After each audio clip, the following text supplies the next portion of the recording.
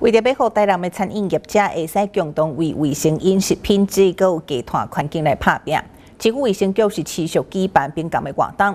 今年总共有三百三十九间店得到卫生优良的认证，而且佮有五十三间健康餐厅得奖。毋单是为民众健康做把关，其实嘛是提供优质的选择，共同维护美食之都的称号。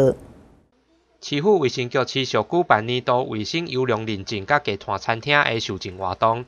期盼咱共同来守护台南美食之都的称号，提供予无论是在地民众，也是讲外地游客一个优质的好选择。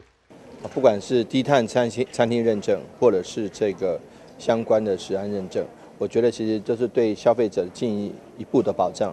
尤其台南作为美食之都，不能徒有美食没有食安，食安还是最重要的。所以我们认为说，呃，这个对于关于食安、食品安全。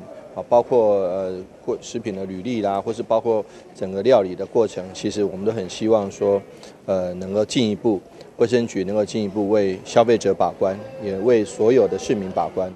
此次总共有三百三十九间店家得到认证，另外也有五十三间的健康餐厅得奖受证，也伫咧咱大科技大学内底举办了颁发典礼，后每一个店家之间会当有互相学习交流的机会，后彼此拢会当愈来愈好。你台南是作为一个低碳城市。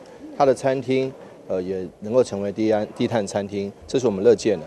而且，呃，对于食安的人，不仅是安全，我们还要做到少油、少盐、少糖。也就是说，吃的美味，吃的安全，也要吃的健康。这点是，呃，我们希望说，啊，下一步能够进一步做到的。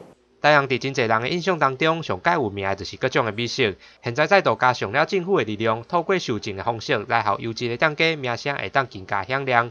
不只是维护美名，更是会当保持品质。记者柯佳明因空区采访报道。